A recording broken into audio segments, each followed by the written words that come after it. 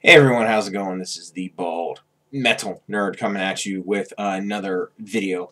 Um, you know what this one's going to be about, so um, we're just going to get right into it. We're going to be talking about all of the wide-ranging effects that uh, the coronavirus crisis is having on everyone. I'm not going to just be talking about myself. I'm going to be talking about the wider societal aspects of this, right? Um, and I can only really speak for the United States. I don't have uh, direct experience in other countries, so I don't know how it's going there. So we're just going to talk about my little corner of the world, as it were. So, um,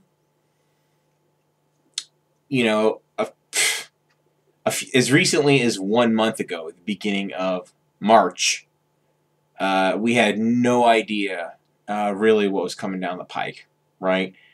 And uh, what would be happening. Very interesting stuff. Um, this unfolded very, very quickly. So, um, I mean, we had heard of the coronavirus by then, obviously, but we didn't have any idea uh, how wide, you know, how wide ranging it was and how much it would affect everything, right? Um, so, what's going on? Well, we all know what's going on right now. Most of the U.S. is under more or less a lockdown, right? Uh, most of the U.S. is, and most states are under stay-at-home orders.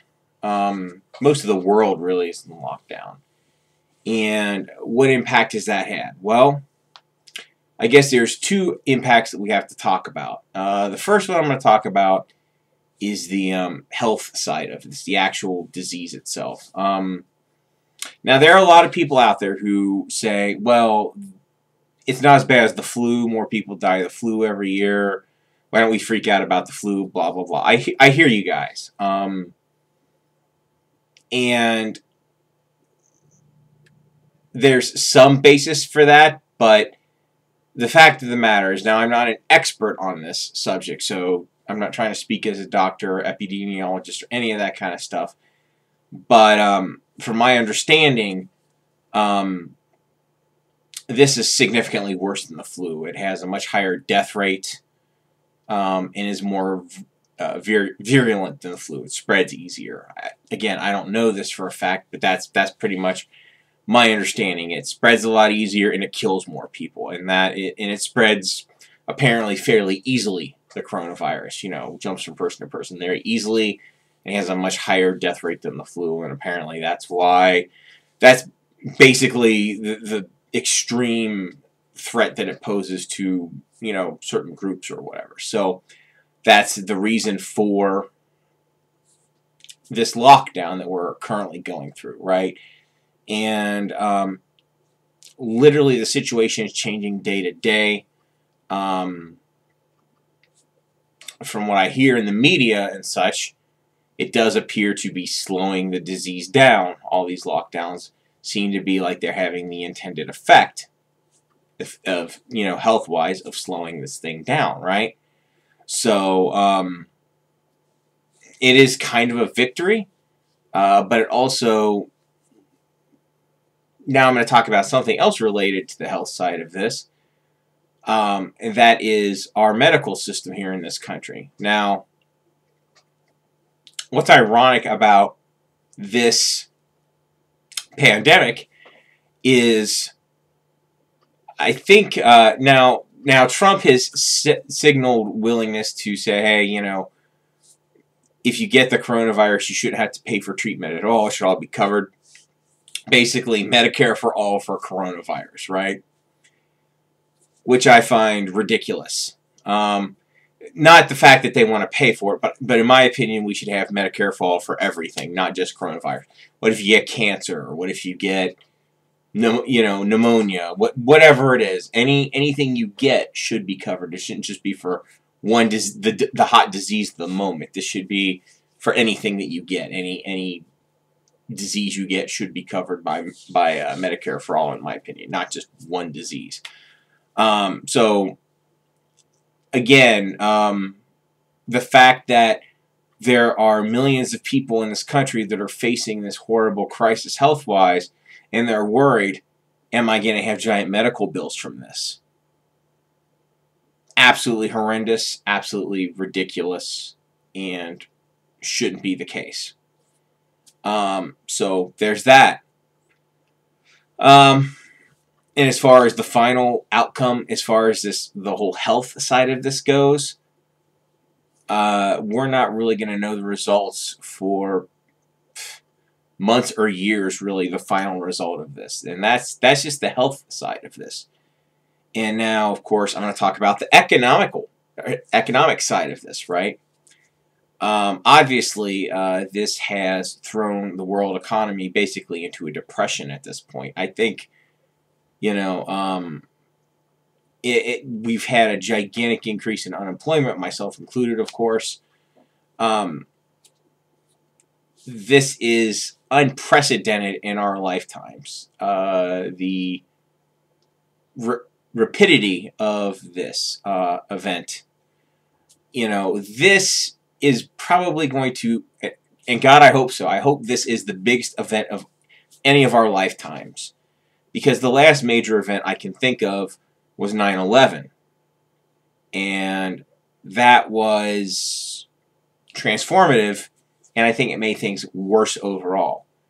This is making 9 11 look like a walk in the park in comparison.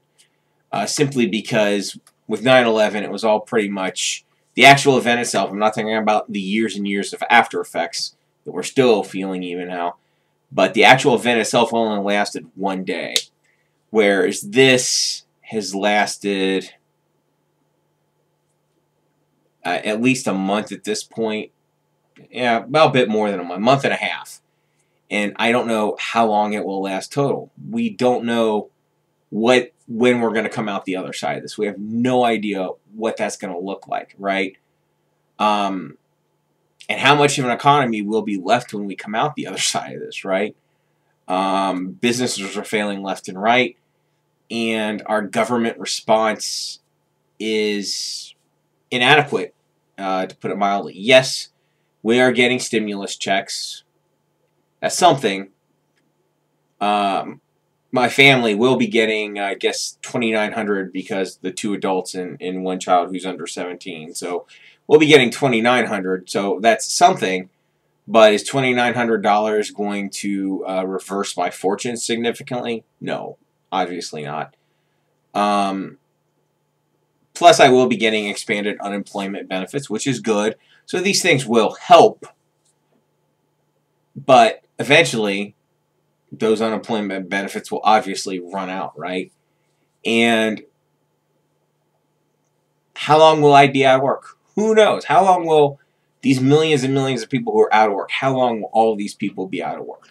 Who the hell knows, right? There's no, like, I can't sit here and say, yeah, everything's going to be back to normal by this time or that time because we just legitimately have no idea how long this crisis is going to last. There's no it's completely unprecedented in modern times what we're going through now.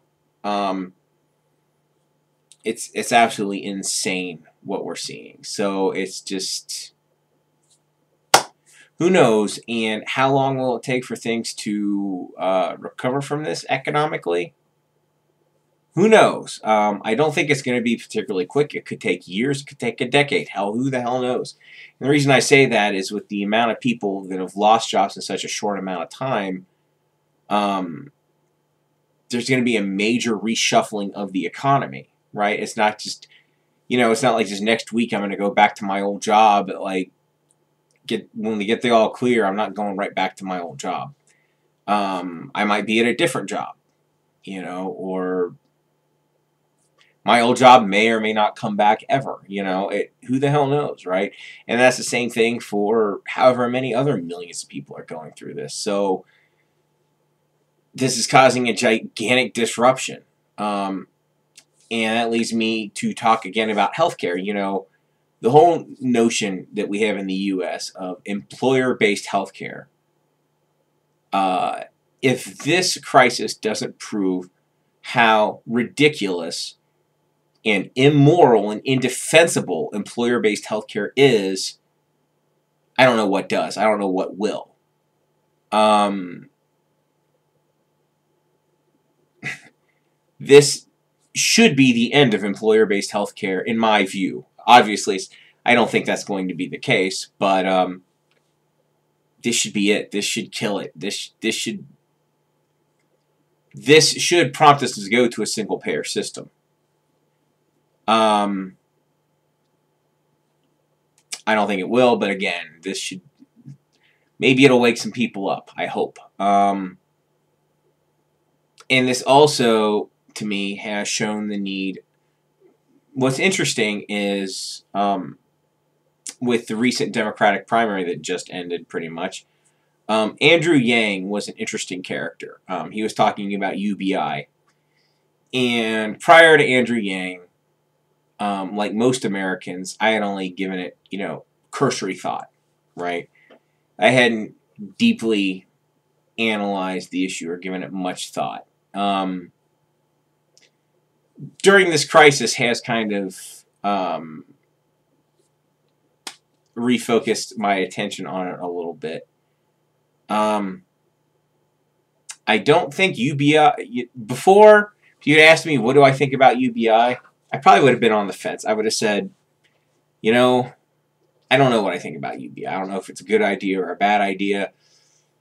I'm a little bit on the fence of, about it, right? Because I have said, you don't want to disincentivize work too much. uh, because you know how how are people going to be productive if they're not doing something well there's a whole lot of us not doing anything right now not really by our own choice so um, it's making me rethink UBI it's making me think maybe UBI is a good idea. You know um, so yeah I mean there's that. I this whole crisis has really just shown what a house of cards that our society is, what it's built on. It's built on basically endless, um, that's what I'm looking for, consumer demand, right? If, if, all of a sudden there's no less consumer demand, everything just grinds to a halt. I know it's not designed for this, but um, this really shows just if there's a disruption, we get fucked, pretty much. Um, there are other countries that are, of course, doing this better. Um, I think now I don't. I'm not looking at Google, so if I get the name of the, which country this is wrong, I apologize. I believe Denmark is more or less putting a quote pause on their economy, where the government is actually paying payroll for a lot of the private companies just so people stay in their jobs, right? Uh, they're putting a pause like on rent, mortgages, all of these things you know, um, which in my opinion is a good idea because if you just put a pause on everything and everybody essentially stays in their jobs, even though if there's no ac economic activity going on, if you stay in your job, once you get the quote all clear, it's a hell of a lot easier to quote get back to normal, right? Way easier, way, way, way, way, way easier than than what we have in the states, because basically here, it's all on the individual individuals to get these things happening, you know, um, instead of just being done automatically. I mean, I had to get in touch with my mortgage. That took, you know, five hours. I did, you know, um, it took me God knows how many hours to get answers from unemployment. Um, it's this whole process, you know, and I'm sure part of that is to disincentivize people from taking advantage of these programs. But I'm a pretty determined person, so I'm going to take advantage of whatever I can, however I can. So it's not going to dissuade me. I'll just try harder and harder until I eventually get it. But I'm going off on a tangent here. Um, the point I'm trying to make is we have no idea what the long-term or medium slash long-term implications of this are. Um, we don't know how long it's going to take to recover. Is the lockdown worth it? I don't know. I can't answer that question. I don't know if we'll be able to answer that question for months or years, but the point is this has had this is the biggest thing that's happened in our entire lifetimes, and I think we'll change society more than any other single event ever has in our lifetimes. Hopefully, fingers crossed, that for any of you watching this, nothing this big happens again in any of your lifetimes. Hopefully, this is the biggest thing that we get because typically when we have big events, they're not positive. They're they're there, there's an old curse. May you live in interesting times. Well, we've been living in some very interesting times. Um, I would love for times to be nice and boring. That would be fantastic. Now, we have seen major societal shifts in our lifetimes. Um, the biggest one I can, of course, think of is the rise of the internet, but that was um, that didn't happen all in like a month, right? The internet integrated into our lives over the over a few decades, really, right? It took a couple of decades from it being opened up to the public to uh, basically being ubiquitous, right? Same thing with smartphones. It took it took years. It was not here's this thing and now it's everywhere and it's changed everything. It took years and it integrated into our lives.